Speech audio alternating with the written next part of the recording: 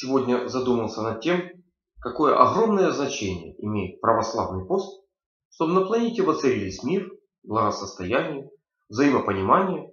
Я понимаю ваши сложности. Если вы истинный православный христианин, то есть вы не просто числитесь в приходе какой-то православной церкви, периодически туда заходите, или живете просто на территории, где распространено православие, если вы истинно поддерживаете эту веру, то вы обязаны соблюдать православный пост. И я понимаю ваши сложности. Постов масса. Есть четыре длинных поста. Великий пост завтра начинается. Петров пост, Успенский пост, Рождественский пост. Есть еженедельный пост по средам и пятницам, однодневные посты. Сплошные седмицы, их тоже, их пять. Одна из них заканчивается сегодня. Это сырная или сыропустная неделя, или по-другому называют ее масленица. Это тоже православный пост. И каждый пост накладывает свои диетические рекомендации, свои ограничения на ваш рацион питания. А вы понимаете, что пост не адаптирован под ваш пол, под ваш биологический или паспортный возраст, под ваш уровень здоровья, под ваш образ жизни, под те экологические условия, которые вокруг вас регулярно ухудшаются. Под те резкие изменения погодных и климатических условий, которые сегодня на планете происходят. Пост под это не адаптирован, поэтому мне и задают вопрос, как правильно соблюдать пост, чтобы себе не навредить, чтобы была польза, а не вред. Я прекрасно понимаю, что мои знания как врача-диетолога могут помочь адаптировать пост ко всем тем переменным, которые вы обозначили. Но, вы знаете, я советую, это надстройка, а есть фундамент. Поэтому я советую обратиться к моему учителю. Он более компетентен в этом вопросе. Большинство из вас его знают. Не все, но большинство знают. Он советует очень интересную диету. Я бы назвал ее это эмоциональная диета. Зовут его Иоанн Златоуст. Он считал, что истинный пост – это удаление от зла, обуздание языка, отложение гнева, укращение похоти, прекращение клеветы, лжи и клятва преступления. Я думаю, что если вы будете соблюдать вот эти рекомендации, ваша нервная система будет работать в оптимальном режиме. А с ней взаимосвязано, неразрывно работает эндокринная система. Они обе регулируют обмен ваш, веществ в вашем организме. И даже если вы резко ограничите свой рацион питания, они помогут вам его сбалансировать на клеточном уровне и не пострадать. Ну, конечно, если у вас есть жесткие изменения в состоянии здоровья или там какие-то другие особенности, например, беременность, там, кормление грудью, я прекрасно понимаю, тут э, жестких ограничений быть не должно.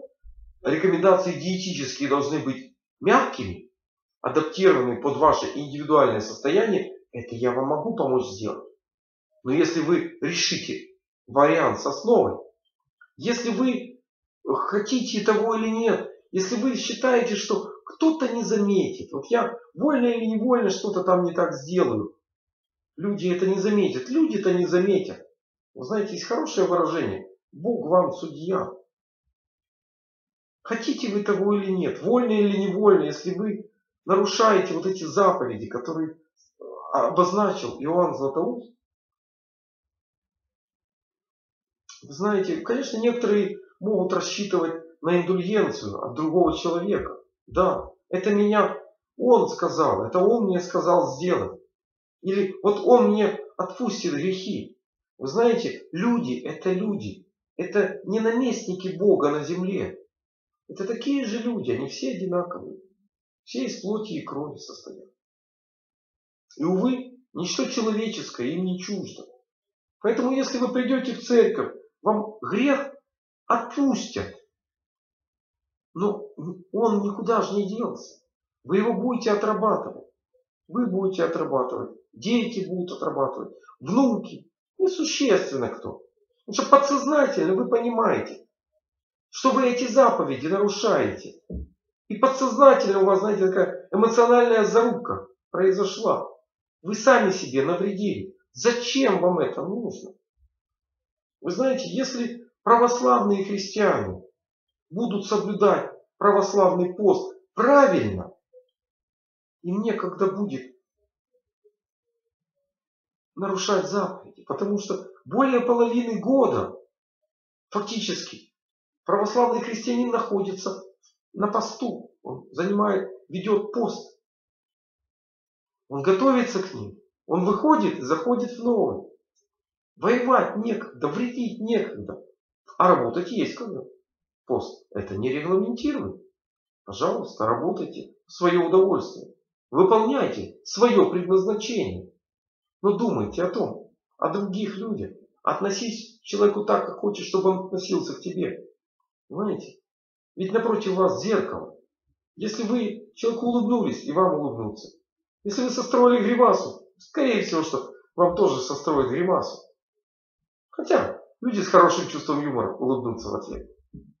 Поэтому, вы знаете, если православный пост будет соблюдаться всеми, а не избирательно, кто-то соблюдает, а кто-то считает, что его нарушение пройдет незамеченным, или он настолько сильный, что может это не замечать, он может переступить через любую заповедь, ну, это ваш выбор. Никто от ошибок не застрахован, а ошибки, которые повторяются, тем более.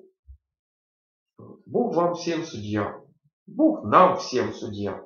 По нашим делам, по нашим поступкам, по нашим словам. Но если вам нужны, как я уже вам предложил, диетические рекомендации, не вопрос, как адаптировать православный пост под тот комплекс э, ситуаций, которые вы имеете, индивидуальную диету составить. Не вопрос, контакты вы видите. Вы легко можете обратиться. А я подумаю, какое еще видео написать для вашего здоровья и активного долголетия с наступающим вас великим православным постом. Он реально великий. Делайте великие дела.